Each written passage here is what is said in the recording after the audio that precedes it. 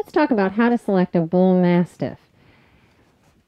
First, let's consider their uh, physical characteristics. This is a fairly square breed of dog, weighing over 100 pounds, potentially up to 130 pounds. Very heavy dog, not um, not particularly active, but in general, when we talk about the breed and without consideration for individuals, uh, a good watchdog and a good guard dog. So, can be some issues with compatibility with other dogs and certainly some protectiveness around strangers. So, those things are important to take into consideration when you look at this breed of dog. Always don't consider simply how the dog looks or the few things that you may know about the dog, but talk to other individuals who have the breed of dog and do some research on what the dog uh, general what the dog's general temperament, characteristic, and health issues may be, so you can select honestly and and appropriately select a breed of dog that will fit well with your family now and with your family potentially 10 years down the road, which hopefully your dog will be with you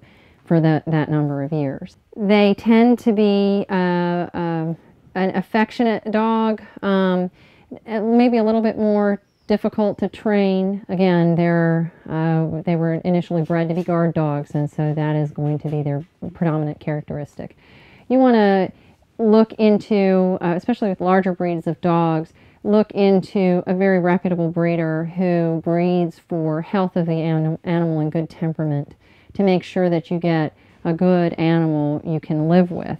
And uh, that could be potentially more money if uh, you don't want to spend a lot of money on adopt on uh, finding a dog, then you I would strongly suggest that you consider adopting from a reputable rescue.